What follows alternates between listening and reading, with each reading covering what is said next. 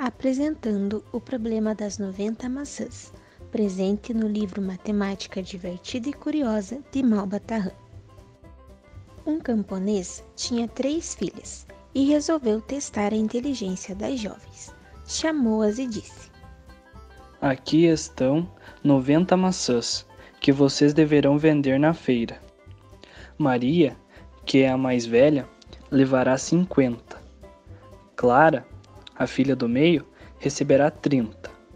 E Lúcia, a mais nova, ficará com as 10 restantes. Mas tem uma condição. Se Maria vender sete maçãs por um real, as outras deverão vender também pelo mesmo preço, isto é, sete maçãs por um real.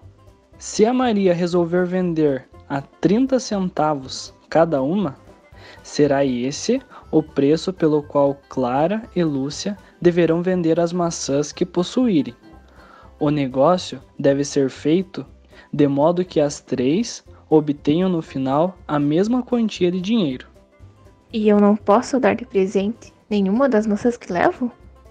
Claro que não, de modo algum. A condição é essa: Maria deve vender 50, Clara deve vender 30 e Lúcia só poderá vender 10. E pelo preço que Maria vender, as outras devem também vender. Façam a venda para que resultem no final quantias iguais. Mas eu acho que não vai ser possível termos o mesmo valor vendendo as maçãs, pois eu só tenho 10 maçãs e a Maria tem 50. Certamente a Maria vai sair ganhando nessa história. Isso é mesmo impossível. E como as moças se sentiram atrapalhadas, resolveram consultar sobre o complicado problema uma professora que morava nas vizinhanças. A professora, depois de muito analisar e pensar sobre o tema, disse: Esse problema é muito simples. Vendam as maçãs como seu pai determinou, assim chegarão ao resultado pedido. As jovens foram à feira e venderam as maçãs. Maria vendeu 50, Clara vendeu 30 e Lúcia 10. O preço foi o mesmo para todas e cada uma obteve a mesma quantia. Como isso foi possível? Vamos analisar? Assim, as irmãs foram vender as maçãs. Então Maria começa as vendas. Olha a maçã! Aproveitem a promoção, os produtos são limitados. Levei comigo 50 maçãs e resolvi vendê-las em sacos. Cada saco tinha sete maçãs, que foram vendidas a um real. Vendi sete sacos e me sobrou uma maçã. Como Maria vendeu sete sacos com sete maçãs, ela vendeu no total 49 maçãs. Por isso, sobrou uma maçã. Mas Maria, qual o valor que você vendeu a última maçã? Ah, isso é fácil. Eu vendi uma maçã por três reais. No final fiquei com um total de 10 reais. Como Maria tinha vendido sete sacos de maçã, ela conseguiu sete reais. Somando com os três reais da maçã que sobrou, teve um lucro de 10 reais.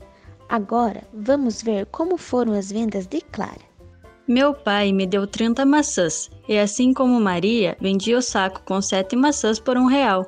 Consegui vender quatro sacos e me sobraram duas maçãs. Como Clara conseguiu vender quatro sacos, concluímos que ela vendeu 28 maçãs, sobrando duas maçãs. Agora vamos ver como Clara vendeu as outras maçãs.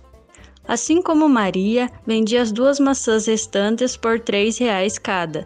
Na minha primeira venda dos sacos de maçã, consegui quatro reais e com a venda das duas maçãs que sobraram, consegui seis reais, sendo o meu lucro total de dez reais. Por último, vamos verificar as vendas de Lúcia.